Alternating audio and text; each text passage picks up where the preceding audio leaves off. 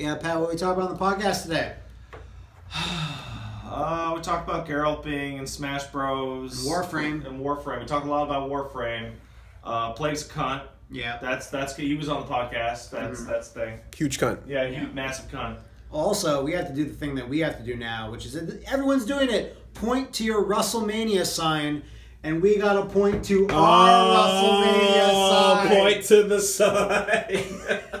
God damn it, it's true. Ten weeks left.